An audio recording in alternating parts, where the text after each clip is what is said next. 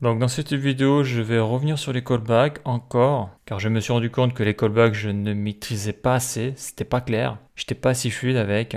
Donc là, dans cette vidéo-là, on va faire un petit exercice. Le but, ça va être de donc d'utiliser des fonctions de callback. Donc le but va être de faire euh, le calcul de la circonférence d'un cercle. Donc le périmètre d'un cercle, la formule c'est pi De faire une autre fonction pour le calcul de l'aire d'un cercle, surface d'un cercle. Donc la formule c'est pi au carré sur 4. Et donc ces deux fonctions, eh ça va être des fonctions de callback qu'il faudra appeler par le biais d'une autre fonction qui sera la fonction calculateur. Donc voilà ce qu'il faut faire. Et c'est là où on voit si on a bien compris l'utilisation des callbacks. Et ça on le voit si on y arrive ou si on n'y arrive pas. Voilà.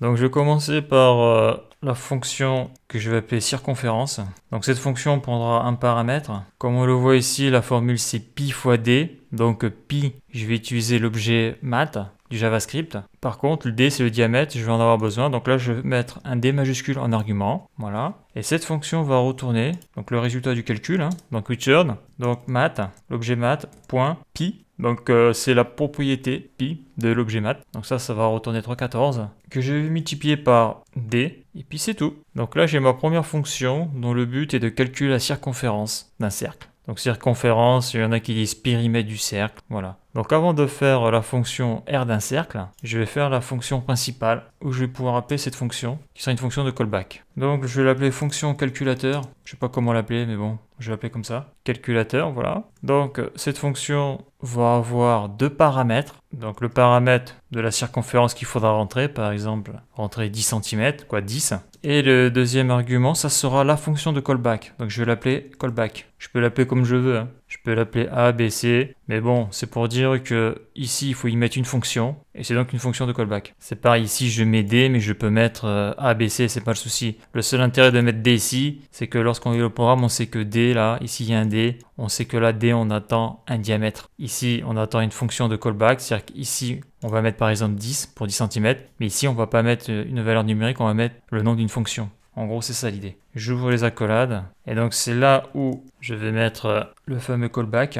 Donc, en gros, là, lorsque j'appellerai ma fonction ici, calculateur, calculateur, j'ouvre les parenthèses. Le premier argument, ça sera par exemple 1 cm. Donc, je mets 1. Le deuxième argument, ça sera le nom de la fonction de callback. Le nom de la fonction de callback, c'est celle-là, ça sera circonférence. Et lorsque je ferai CTRL S, donc je sauvegarderai, ça lancera ce fonction-là. Là, je vais pas le faire parce que ça va planter. Donc là, je vais mettre circonférence. Donc, la fonction calculateur est appelée. Dedans, j'ai deux paramètres, D et callback. Donc le D en argument, j'ai mis 1, donc le 1 va aller à l'intérieur. Circonférence, donc là on le voit, j'ai mis circonférence, ça va aller à la place de callback, ici. là. Donc euh, j'aurai calculateur 1 circonférence. Et le circonférence qui a ici à la place de callback va aussi remplacer euh, le callback qu'il y a là. Et donc dedans après, il faut que je mette les arguments de la fonction. Et les arguments de la fonction, ça va être eh bien, le D qu'il y a ici. Et puis c'est tout. Donc là, si je fais un CTRL S, il va rien se passer. Pourquoi? Parce que j'ai appelé euh, la fonction calculateur, mais euh, elle retourne juste la valeur. Donc si je veux afficher la valeur, il faut que je mette le callback D. Donc cette fonction, il faut que je la mette dans un console log. Sinon, je ne peux pas la voir. Donc console.log.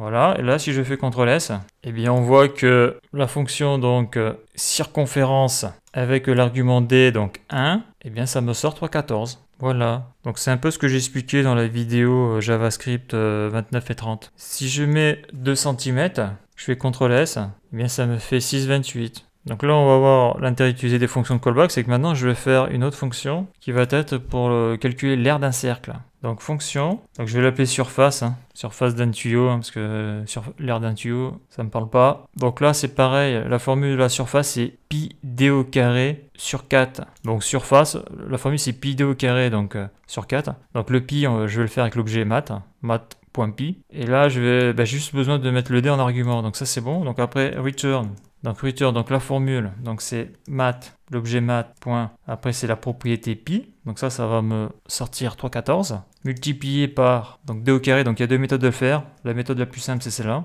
et après on verra l'autre méthode, donc d fois d ça fait d au carré, et après il faut que je divise le tout par 4, donc là par contre il faut que je mette des parenthèses, sinon ça risque de ne pas marcher, donc là j'ai une parenthèse ici, je mets une parenthèse là, si je fais CTRL S, il n'y a pas d'erreur, super, donc c'est là où on va voir l'intérêt des fonctions de callback, c'est que là, voilà, je vais mettre 1, 1 cm, et là je vais remplacer circonférence par surface, CTRL S. Donc l'aire d'un cercle de 1 cm, ça fait 0,78 cm. Si je fais 2, ça fait 3,14. Si je fais 3, ça fait 7,068. Donc j'ai pas vérifié, mais je pense que c'est ça. Voilà, donc ça marche. Donc c'est le même euh, fonctionnement que pour euh, celui-là. Hein. Donc là, lorsque j'appelle la fonction calculateur qui est ici, la fonction calculateur demande deux arguments, car dedans il y a deux paramètres. Donc le premier argument c'est D, donc là j'ai mis 3, donc le 3 va à la place du D. Et euh, le deuxième paramètre, donc en argument, j'ai mis surface, qui est la fonction de callback, donc la fonction surface qui est ici. Donc quand je mets surface ici, ben, le callback il est remplacé par surface. Donc celui-là il est remplacé par surface aussi. Hein. Et obligatoirement le paramètre D que j'ai mis ici, donc dedans il y a la valeur 3, et bien ça vient ici. Donc ça fait surface 3. Voilà. En gros, c'est comme si je faisais ça, quoi. C'est comme si je faisais ça. Surface 3. Et ça me donne le même résultat, sauf qu'il faut que je le mette dans un console log. Ça me donne exactement le même résultat. D'accord? Si je fais ça, donc là j'ai mis surface. Si je reviens sur circonférence, bah, ça marche toujours. Hein. Là j'ai la circonférence. Je vais remettre 1 cm, voilà. Donc là je vais revenir sur surface. Et là, bon, là j'ai fait d fois d, donc d au carré, mais euh, dans l'objet math, il y a la méthode POW Donc là, je suis sur le MDN, donc l'objet mat. Ici, j'ai les propriétés, donc là, on le voit là, la propriété pi, donc 314, etc.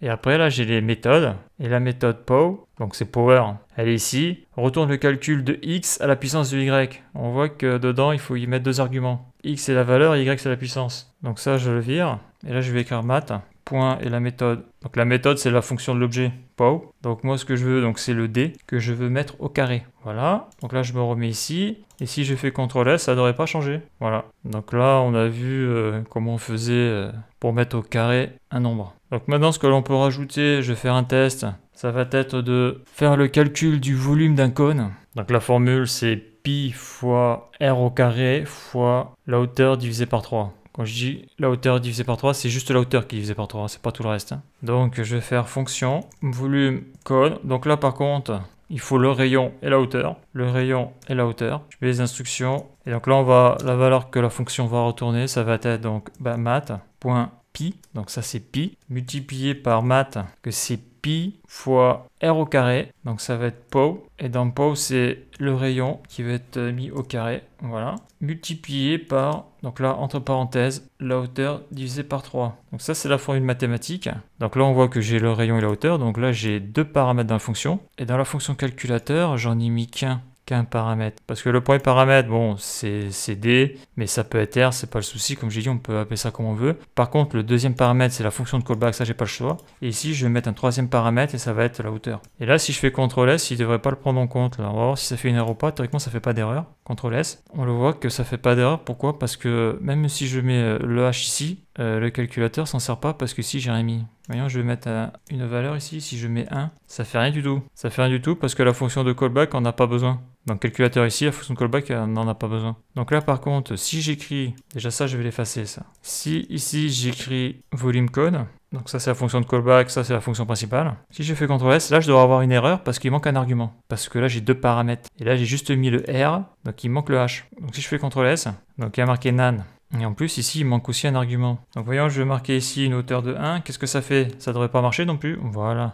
Et pour que ça marche, il faut que je rajoute ici le h. Et là, ça marche. Ça marche parce que la fonction de callback que je vais utiliser, donc qui va être volume code, elle a besoin de... Il y a deux paramètres dedans, donc j'ai besoin de mettre deux arguments ici. Donc je vais revenir en arrière pour voir si ça plante ou pas. Si je fais euh, surface, ouais, ça plante pas, ouais. Ça plante pas, pourtant là j'ai mis... Euh, un argument ici, ici, le h que j'utilise pas avec euh, la fonction surface. Mais c'est vrai que la fonction surface, elle, elle réclame juste un paramètre, le premier, qui est 1. Par contre, si je l'enlève, là, ça devrait planter. Là. Parce que là, j'ai juste la fonction de callback. Ouais, là, ça plante. Donc là, je vais le remettre. 1, virgule. Voilà. Donc là, on a vu euh, dans un exemple euh, plus euh, mathématique, on va dire, l'utilisation des fonctions de callback. Donc c'est un bon complément aux vidéos JavaScript 05, JavaScript 29 et JavaScript 30 pour mieux visualiser le fonctionnement et l'utilisation des fonctions de callback. Donc après, on peut prendre des exemples plus simples. Dans la prochaine vidéo, je ferai la, même chose, mais avec des calculs plus simples, c'est-à-dire addition, soustraction, multiplication, division, le résultat sera le même. Et peut-être que ça sera plus euh, facile à comprendre. Donc voilà pour cette vidéo.